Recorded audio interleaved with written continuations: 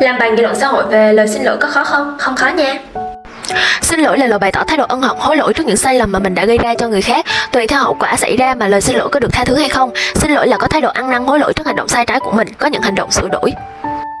Bàn luận, người Việt Nam trọng tình trọng nghĩa ngay thẳng, biết nói xin lỗi khi mắc lỗi, đó là một nguyên tắc đạo đức. Xin lỗi để lương tâm được thanh thản, lời xin lỗi làm cho xã hội trở nên gắn kết, loài người gần gũi và hiểu nhau hơn. Thực trạng và nguyên nhân do đời sống xã hội ngày càng phát triển, lối sống vô cảm khiến người ta bớt quan tâm đến nhau, tính toán nhiều hơn. Có nhiều người thờ ơ vô cảm với người khác, văn hóa cảm ơn, xin lỗi ngày càng bị mai một. Hậu quả, hành động này tạo ra những con người vô cảm khiến cho xã hội mất đi sự gắn kết. Những đứa trẻ không biết cảm ơn xin lỗi khi lớn lên sẽ trở thành người vô ơn, bất nghĩa, không trung thủy.